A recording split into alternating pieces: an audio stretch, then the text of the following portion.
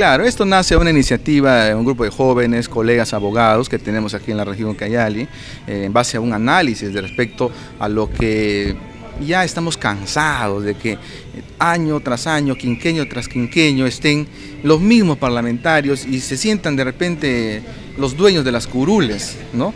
Así como se aplica para los gobiernos locales, gobiernos regionales, el hecho de que no exista la reelección, porque la reelección es sinónimo de corrupción, todos lo sabemos.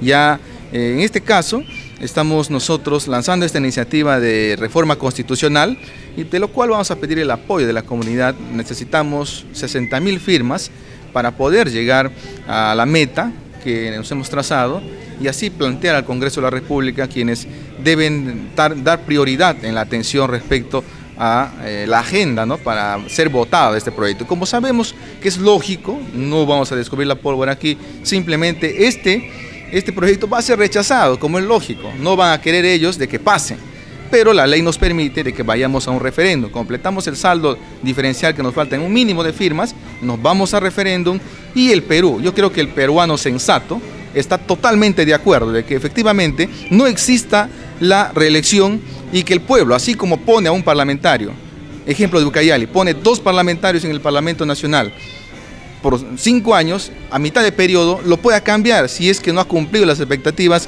o simplemente no ha trabajado por el pueblo que le ha elegido. ¿Esta iniciativa nace aquí en Ucayali o ya en otras regiones está dando? En Ucayali eh, esta nace en esta, esta iniciativa única. ¿Por qué? Porque en el departamento de Huánuco se ha comprado un kit también, pero de no reelección nada más. Pero nosotros, innovadoramente, estamos implementando la no reelección y también la revocatoria. Es decir, el poder tiene el pueblo. El pueblo pone y el pueblo saca. Así de simple nada más.